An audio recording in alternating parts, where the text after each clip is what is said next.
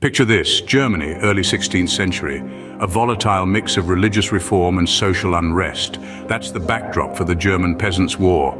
In the heart of Europe, a rebellion starts to simmer. The common folk, the peasants, are fed up. They're tired of oppressive landlords, heavy taxes and a life of servitude. Martin Luther's Reformation is in full swing, challenging the status quo. The peasants see an opportunity for change, but Luther condemns the revolt, causing a divide.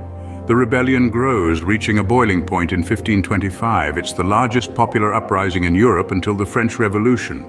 But it fails, brutally crushed by the prince's armies. The aftermath, a strengthened nobility, harsher laws, and a bitter taste of revolution. The German Peasants' War, a pivotal moment in history, a spark in the powder keg of social change.